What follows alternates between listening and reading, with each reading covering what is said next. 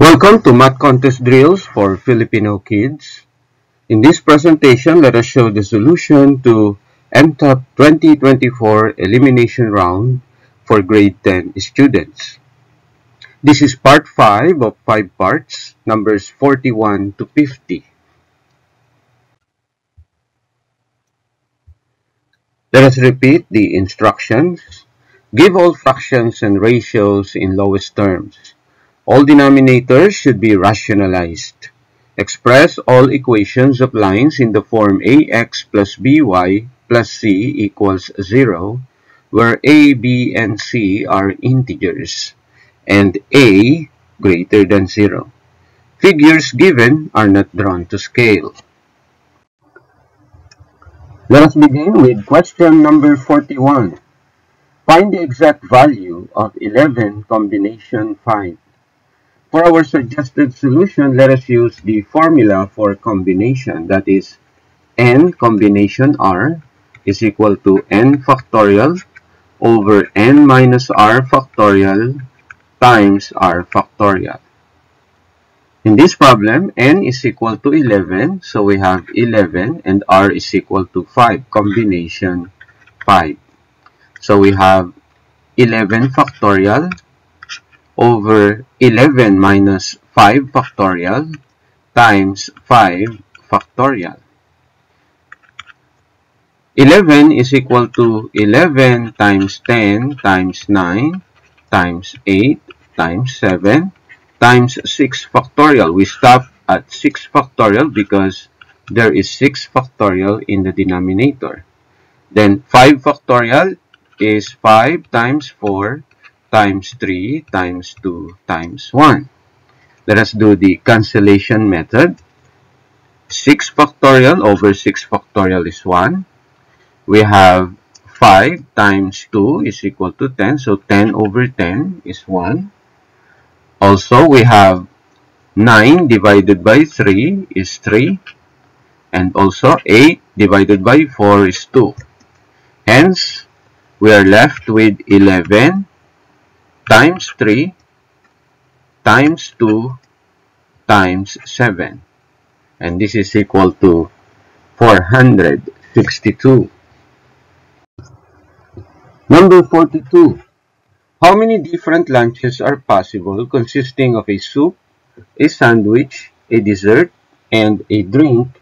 If one can select from four different soups three kinds of sandwiches five desserts and four drinks. For our solution, we're going to use the fundamental counting principle.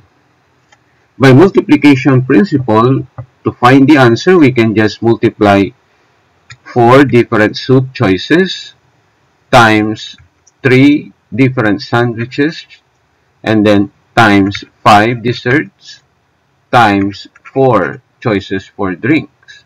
And this is equal to 4 times 3 is 12 5 times 4 is 20. Then we have 240 different lunches possible. Number 43. How many 5-digit numbers can be formed using the digits 2, 3, 5, 7, 8 if no repetition of the digits are allowed?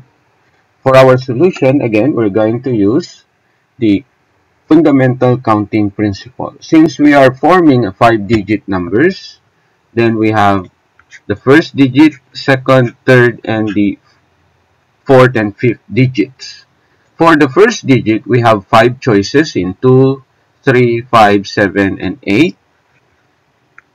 No repetition is allowed, so if we have choose or if we have chosen one of these numbers, we cannot use it anymore for the second second digit then we have only four choices for the second digit, then three choices for the third, two choices for the second, and we are left with only one choice for the fifth digit, and this is equal to 120 five-digit numbers. Number 44. In how many ways and seven people sit around a circular table. For circular permutation, our formula is n minus 1 factorial. Since n is equal to 7, then that will be 7 minus 1 factorial. That is equal to 6 factorial. And 6 factorial is 6 times 5 times 4 times 3 times 2 times 1 by definition. And this is equal to 720 ways. Number 55. Find the number of ways in which four questions can be chosen from seven questions in an examination paper, assuming that the order in which the questions are chosen does not matter. If the order in which the questions are chosen does not matter, then we can use the formula for combination where n is equal to 7 and r is equal to 4. So we have 7 combination 4 and using the formula we have 7 factorial over 7 minus 4 factorial times 4 factorial. 7 factorial can be expanded as 7 times 6 times 5. We stop at 4 factorial because we have 4 factorial in the denominator. 3 factorial is 3 times 2 times 1. Then multiply this by 4 factorial. 4 factorial over 4 factorial is equal to 1. 3 times 2 times 1 is equal to 6. So 6 over 6 is also equal to 1. Then we have 7 times 5. We have 35.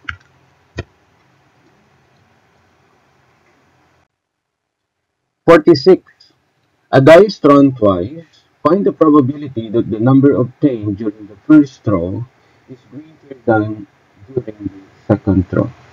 For our suggested solution, let us have the set for the event that the first throw is greater than the second throw. So we have 2, 1, where the first throw is 2 and the second row is 1.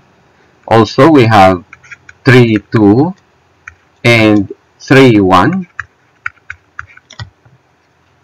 Then we have 4, 3, 4, 2 and 4, 1. Also, we have 5, 4, 5, 3, 5, 2, 5, 1. Next, if the first row is 6, we have 6, 5, 6, 4, 6, 3, 6, 2, and 6, 1.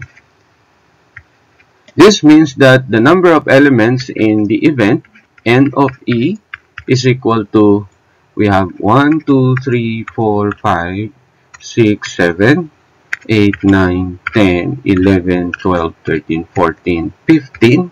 That is equal to 15. Then the probability of this event that the first row is greater than the second row is equal to 15 over 36 simplified as 5 over 12. 27.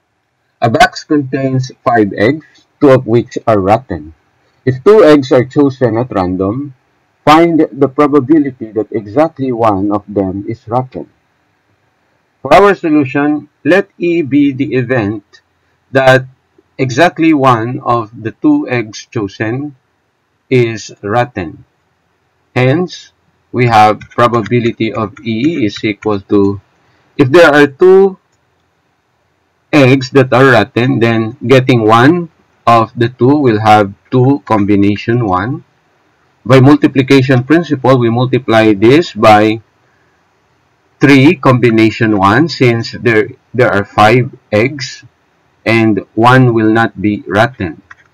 And then in the denominator, in the sample space, we have 5 combination 2. Solving this, we have 2 factorial over 2 minus 1 factorial 1 factorial times 3 factorial over 2 factorial times 1 factorial And in the denominator, we have 5 factorial over 5 minus 2, that's 3 factorial, 2 factorial. Solving 2 factorial over 1 factorial is equal to 2. 3 factorial over 2 factorial is equal to 6 over 2, that is 3.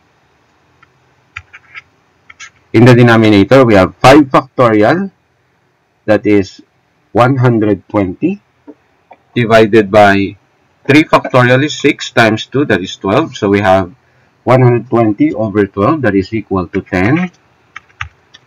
Then we have 6 over 10 or 3 over 5. Number 48. A card is drawn at random from a standard deck of 52 cards. Find the probability of drawing an ace or a heart. For our suggested solution, let E be the event that drawing a card from standard deck of cards, we get an ace or a heart.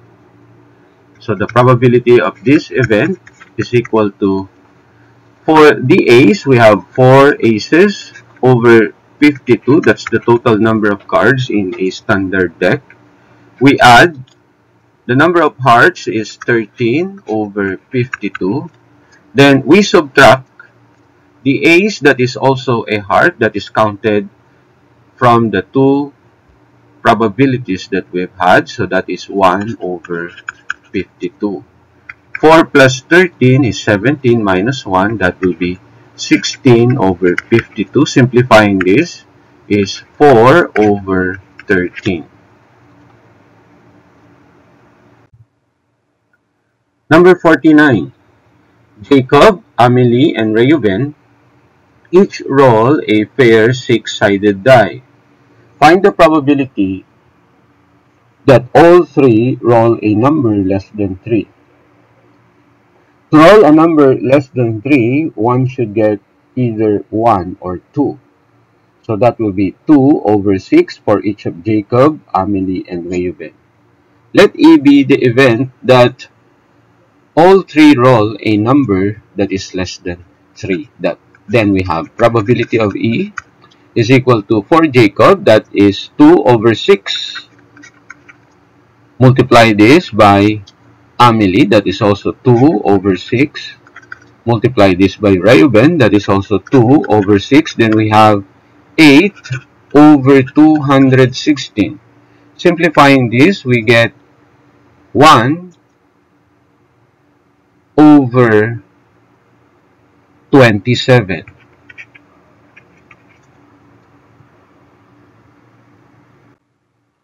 Last number, number 50. Danny has a pack of 55 cards. Each card is either red or black. One third of the cards in the pack are red.